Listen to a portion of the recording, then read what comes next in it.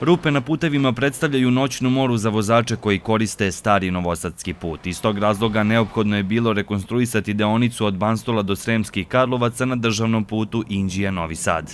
Uradit ćemo znači, iduće godine ovu deonicu od, od, Banstola do, do, do Karlovaca, tih još 4 km.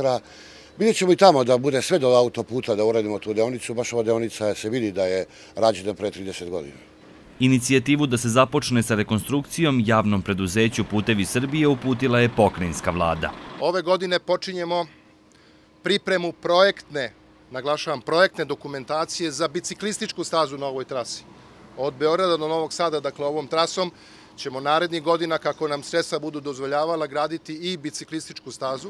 Ovom deonicom dnevno prođe preko 5000 vozila, a posle 50 godina ova deonica koja je bila u veoma lošem stanju ugledaće svetlost dana. Za obnovu puteva prvog i drugog reda u Vojvodini biće utrošeno 2,5 milijarde evra, ističu u resornom ministarstvu. Kad dođe investitor prvo pita a gde su putevi, gde su železničke veze i to nam je osnovni cilj da obezbedimo što bolju komunikaciju, što bolju infrastrukturu za buduće ulagače. Tokom trajanja radova koristit će se alternativni pravci za teretna vozila iz pravca Beograda i to Inđija, Putinci, Ruma i Riški venac, Petrovaradin i Novi Sad, kao i alternativni pravci za putnička vozila iz istog pravca i to Inđija, Maradik, Irik i Riški venac, Petrovaradin i Novi Sad.